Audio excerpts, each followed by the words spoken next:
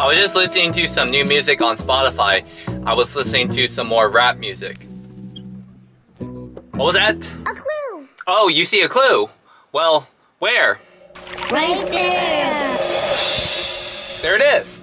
And it's on Brother Bear. From the TV show Berenstain Bears. I remember watching that show on PBS Kids.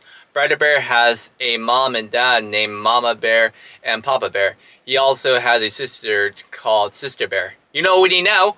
We need our handy dandy Notebook. notebook, right? So, let's draw Brother Bear in our notebook. Let's start by drawing his face. His eyebrows. Two circles here for his eyes. His nose. His mouth. Shirt. His pants. Feet. His arms and hands.